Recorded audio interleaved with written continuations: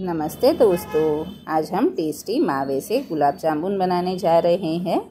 इसे बनाना बहुत ही आसान है। सिर्फ़ मेजरमेंट्स का आप ध्यान रखिएगा और आपकी भी ये रेसिपी बिल्कुल ही परफेक्ट बनेगी दोस्तों।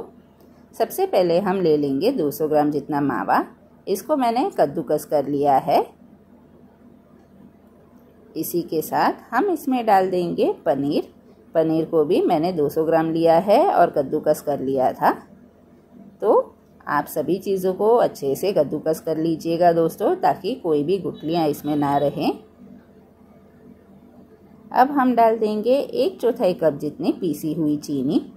चीनी को हमें फ्रेश पीसना है और उसी के बाद हम इसमें डालेंगे एक कप जितना मैदा।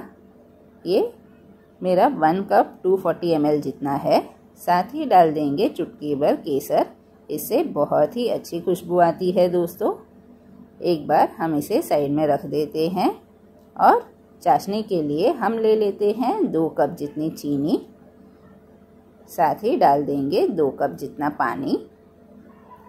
और अगर आपको इलायची पसंद है तो दो से तीन इलायची इसमें आप डाल दीजिएगा। अब हम इसे रख देते हैं पकने के लिए और हमारे गुलाब जामुन के बैटर में हम आखिर में डाल देंगे एक टीस्पून जितना बेकिंग सोडा। और इसे अब हम अच्छे से मिला लेंगे। इसे मसल मसल कर हमें इसका आटा लगा लेना है। जैसे हम आटा लगाते हैं, बस उसी प्रकार हम इसे मसल मसल कर रेडी कर लेंगे दोस्तों। इसमें हमें पानी की ज़रूरत नहीं लगेगी। बस दिखाए गए तरीके से हमें बहुत ही अच्छे से इसे मसल मसल कर चिकना कर लेना है। मावे से जब आप गुलाब जामुन बनाते हैं तो एक चीज़ का आपको ख़ास ध्यान रखना है दोस्तों, कि जो हम आटा लगाएँगे, उसे हमें अच्छे से मसल मसल कर चिकना कर लेना है। इसमें हमें दूध की आवश्यकता नहीं रहेगी।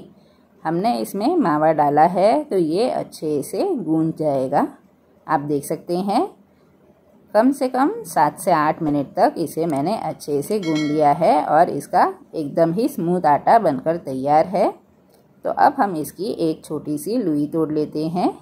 जितना हमारा छोटा नींबू रहता है, बस उसी साइज़ की हमें इसकी लुई तोड़ लेनी है और हम इसका बॉल बनाकर रेडी कर लेंगे। जब आप इसका बॉल बनाएँ तो एक चीज़ का ध्यान रखना है कि इसमें कोई भी सिरवटें नहीं होनी चाहिए। नहीं तो जब आप इसे फ्राई करेंगे तो ये फट सकते हैं। तो हल्के हाथों से हम इसे अच्छे से राउंड घुमा लेंगे ताकि कोई भी सिरवटें इसमें ना रहें। कढ़ाई में तेल गरम करने के लिए रख दिया है। साथ ही हम अब जो मावे के बॉल्स बना के रेडी कर लिए हैं, वो डाल देंगे और इसे मीडियम टू लो फ्लेम तक पकने देंगे। जब तक बॉल्स अपने आप ऊपर नहीं आते हैं तो हम कड़ची इसमें नहीं डालेंगे दोस्तों। फिर हल्के हाथों से हम इसे टर्न करते हुए पका लेंगे।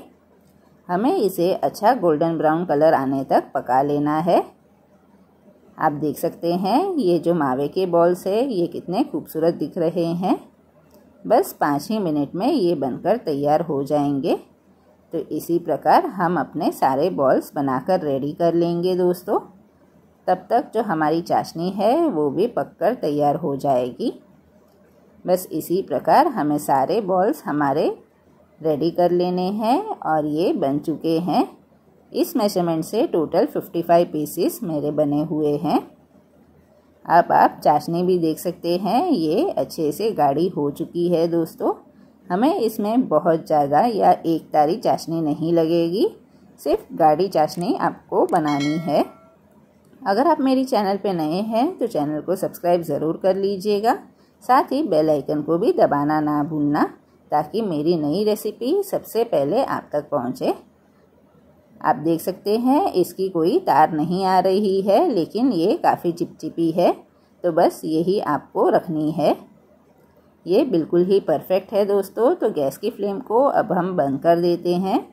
साथ ही जो हमने मावे के बॉल्स बना के रेडी कर लिए थे, वो सारे इसमें डाल देंगे और अब हम इसे ढक कर रख देंगे।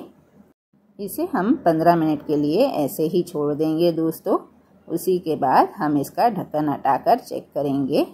आप देख सकते हैं, ये कितने प्यारे दिख रहे हैं और काफ़ी फूल चुके हैं।